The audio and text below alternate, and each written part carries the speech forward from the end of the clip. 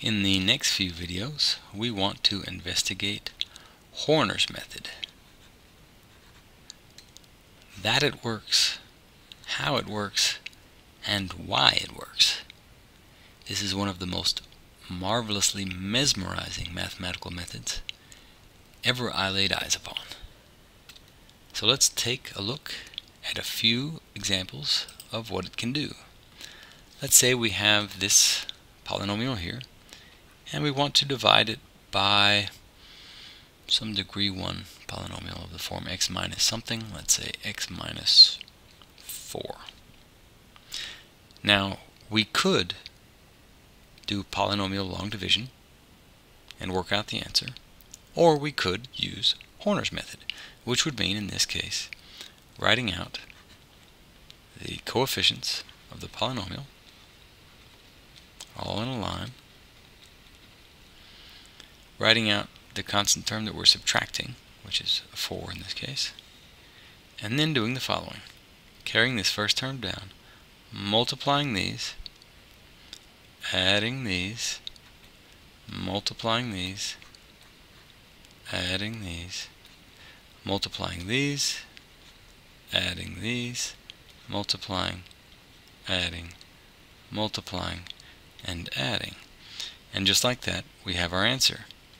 2x to the fourth minus 7x to the third minus 6x squared plus 5x plus 13 with a remainder negative 1. In other words, this last term is always our remainder. This is our constant term. This is our x term. This is our x squared term, etc. This is called synthetic division and is one of the things that we can do with Horner's method. Let's take a look at another one.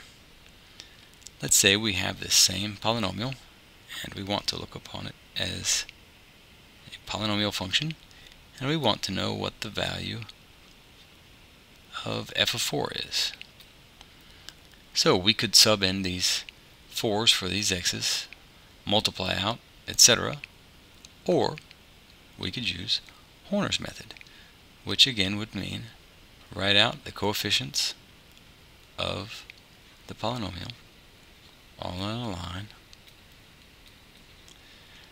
Write in, in this case, the value at which we are wanting to evaluate, 4.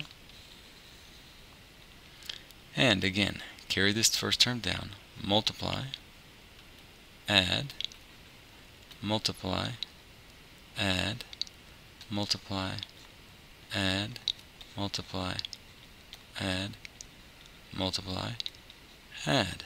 And this very last term tells us that the answer is negative 1.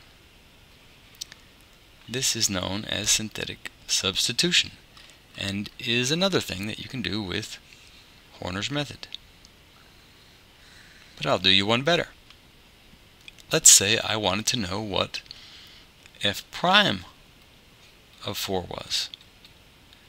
Now I could go out over to the side and compute what f prime of x would be, or I could use Horner's method, which would mean, since I'm dealing with the same number as I was above, I can just iterate. I write in the 4, and do the whole process again. So I carry the first term down, multiply, add, multiply, add, multiply, add, multiply, add. And I see that the answer is 1. So that is yet another way we can use Horner's method.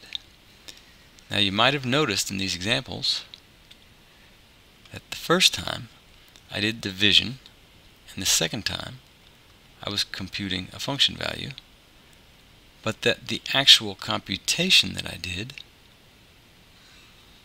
was identical. I wrote in the coefficients. In this case, I wrote in what I was subtracting, which was a 4.